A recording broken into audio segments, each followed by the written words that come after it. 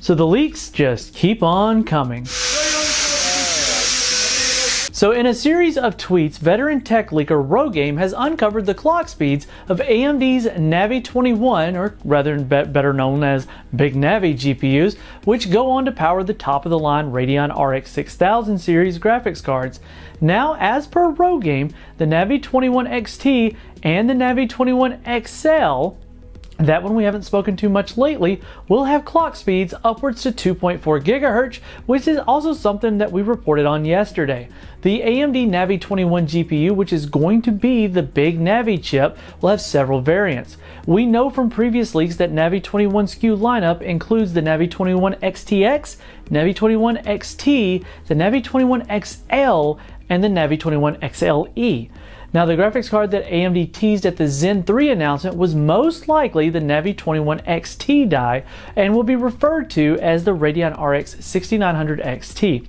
Yesterday, it was reported that the Navi 21 XT GPU will feature insane clock speeds of 2.4 GHz and a TGP of 255 watts. Now, Rogamer gives us an even better insight as what to expect from the Navi 21 SKUs in regards to their clock frequencies.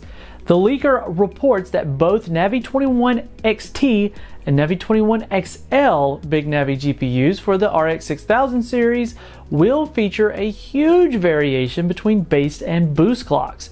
We're looking at upwards of 700 megahertz difference between the base and boost frequencies. Now here are the speeds as listed by Rogame. So the AMD RX 6000 series Navi 21 XT GPU clocks base clock of 1450 megahertz to 1500 megahertz. The game clock is 2000 megahertz to 2100 megahertz with the boost clock reaching 2200 megahertz to to 2400 megahertz.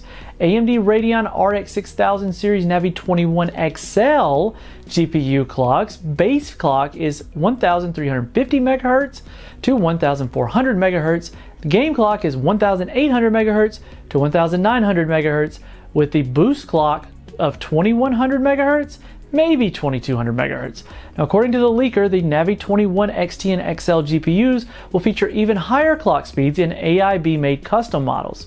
The first batch of GPUs will be sold as reference only variants, but AMD partners are definitely cooking their own custom designs that will feature even higher clock speeds. Now, similar statements were provided by VideoCardz whose sources at AIBs revealed that the Navi 21 XL will have peak clock speeds of around 2.2 gigahertz, similar to what was stated by Rogamer. It's likely that the red team will artificially lock the clock speeds, but reference samples are said to feature around 2.3 GHz peak clocks, with AIBs hitting around that 2.4 GHz clocks out of the box. Now, AMD's Navi 21 XT and XLE variants are currently unknown, and the former is said to be an AMD exclusive variant. And there are rumors that the Navi 21 XTX can feature a higher number of cores than the Navi 21 XT GPU, which peaks out around 5120 stream processors or 80 CUs, being compute units. But that remains to be seen. The XTX variant could be a special bin variant, and AMD could market it as the highest performing Big Navi Radeon RX 6000 series graphics cards. Previously, the highest end SKUs have received more premium designs such as AIO cooling, and we can see the return of that at the XTX variant. Now, Patrick Schur has also reported that while the 255 watt TGP is mostly close to the reference spec, the max TGP is suggested around 290 watts. AIB models will feature different TGPs based on their cooling and board design, and Patrick also reaffirms that the 2.4 GHz game clock was achieved by an AIB card, so it could have been slightly overclocked outside of factory overclock specifications. Now, as for the 21 XT and XL graphics cards, these are said to both feature 16 gigabytes and 12 gigabytes GDDR6 memory capacities.